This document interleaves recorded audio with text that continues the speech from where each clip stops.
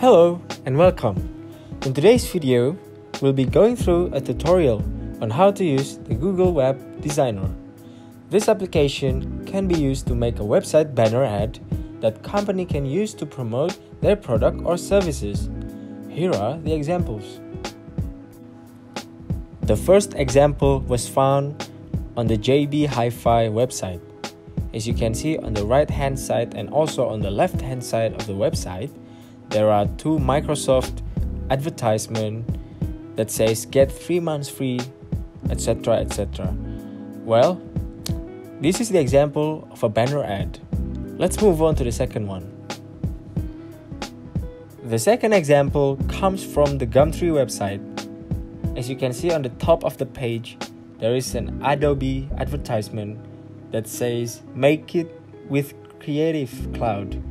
This is also an example of a web banner ad. I'll show you the last one. The last example I am showing you comes from the bike sales website. As you can see on the top of the page, you can see a Harley Davidson web banner ad and then if you click the advertisement it will go straight away to the website of Harley Davidson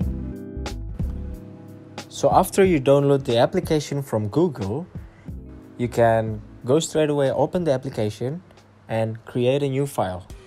And here there are several options that you have to insert before you start creating your web banner ad. First of all I will input the name as Indomie Stripes Corona advertisement. After you input the name, you can input the location where you want to save the files and then you can choose the dimensions also so that you can create the dimensions of the web banner ad based on your preference. And then I choose the ads as banner. And after that we'll click OK. Now you can see here there's a white blank space. That's where your web banner ad will going to be. And then you can zoom out and zoom in using this plus and minus button. And now I'll show you how to insert your files into the application. Here you open file and then import assets and then choose the files that you want to insert. This is one of the ways to input the files. You can also drag the files from your folder straight away into the application. Now you can see everything is still in its original size and I don't want to see it this big and crowded so I'll just delete them all and see on the bottom right you can see all the files that you have inserted and I'll insert the background now I adjust it to the right place and then I will change the size of the image by going to properties and make it into your preference size of 300 by 250 pixels. Now I'll try to add the logo picture. As you can see it's still too big also.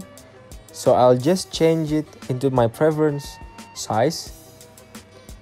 And don't forget to click the button in between the width and height pixel options because it will make your picture stays the same when you resize it. Now I'll add some more of my pictures and I'll show you when it's done. So this is after I inserted all of the pictures that I want to show in my Google Web Banner ad. And now I want to put some text on my web banner ad. Let's do it. So because this ad will be about the coronavirus stay at home campaign, I will create the stay home text here in the middle.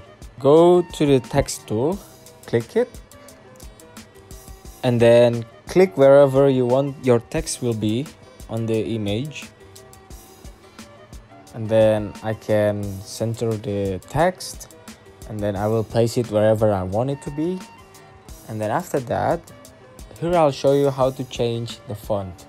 So on the left part of the application here you can see the font option. And then there are some recommendation of the font you can choose. But there is also the more fonts option if you want to choose other options of the font. For this one i will choose the poppins font and here will be the version of the font. You can choose the bold the semi bold or the thin one. It is basically up to you which one you want to use. But for this ad I will choose the semi bold I will create some more texts for the image and I will show you when it's done. I have readjusted the image positions as well as put some more text the I'll Be There For You is a reference to the Bon Jovi song If You Have Noticed, meaning that the product will accompany you during your self quarantine at home. I have also added some hashtag at the bottom right of the ad. Now, we'll add some animations to the ad. I will hide all of my layers first, and then I will put back the background and also the plate image because I want to insert the animation to the plate image first. As you can see on the bottom of the application, there is a time frame where you can insert the animation.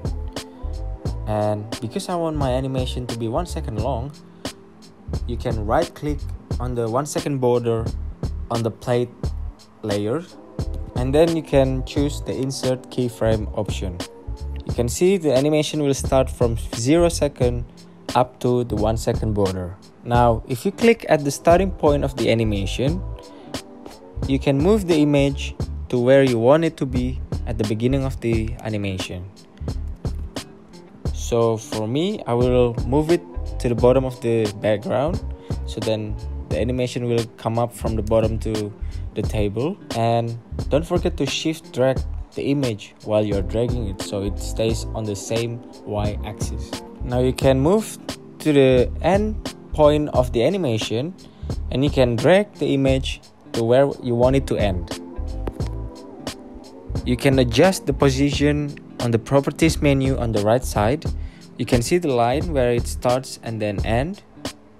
For this image, it will start at the bottom and then end on the table. Here I will play the animation so you can all see. There you go.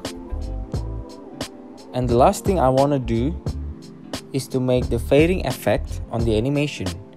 Here you go to the starting position of the animation and then drag down on the properties menu and choose the fill into zero. And then you click at the end of the animation point and then you change the fill into one.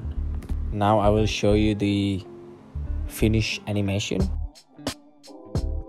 and that's how you create a moving and fading animation.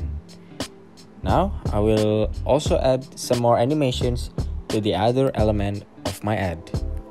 Stay tuned. As you can see on the time frame, I have inserted all of the animations on the pictures and texts I want to animate. So I'll show you how it animates.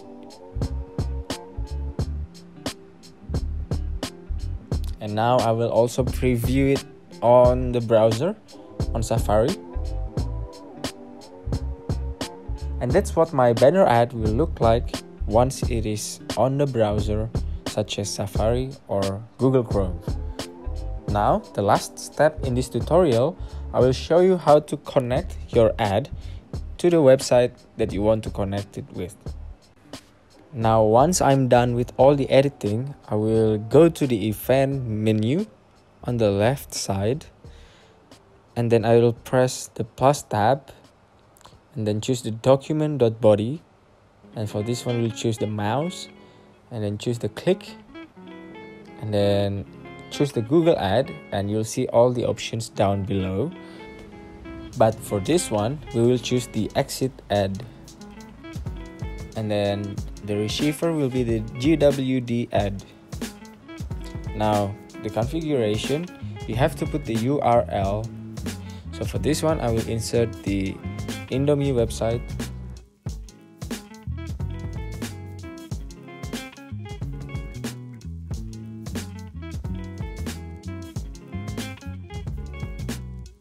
As for the metrics ID, I will insert my ID. Now you click OK. Now I will preview it again. And then now you can click it. and you see it goes straight to the Indomie website. The website will open on a new tab so you don't have to worry that it might disturb the previous site. That's basically all you have to do to make your own web banner ad with simple animations and hyperlink to another website. I hope this tutorial will help you. If you have any questions, feel free to ask on the comment section. Don't forget to like the video, subscribe, and I hope you have a wonderful time despite the situation of the coronavirus right now. I am Satya, and I'll see you again next time.